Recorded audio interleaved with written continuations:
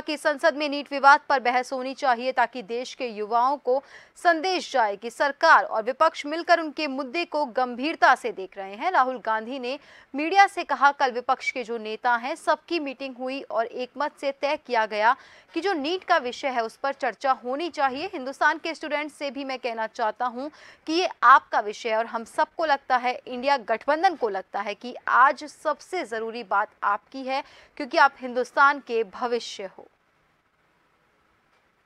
कल ऑपोजिशन के जो फ्लोर लीडर्स हैं, सबकी मीटिंग हुई और यूनानिमस था कि आज हमें नीट का जो इशू है, उस पर डिस्कशन चाहिए। हिंदुस्तान के स्टूडेंट से मैं कहना चाहता हूँ, ये आपका इशू है और हम सबको लगता है इंडिया गठबंधन को लगता है कि आज सबसे ज़रूरी बात आपकी है, क्योंकि आप हिंदुस्तान के भविष्य हो। तो हमें लगा कि यहाँ पे पार्लियामेंट हाउस में नीट पे डिस्कशन हो और उसके बाद प्रेसिडेंट्स एड्रेस हो पाए। और मैं रिक्वेस्ट करता हूँ प्रधानमंत्री जी को कि ये युवाओं की इशू है और अच्छी तरह प्यार से डिस्कशन होना चाहिए रिस्पेक्टफुली डिस्कशन होना चाहिए। हम रिस्पेक्टफुली करेंगे।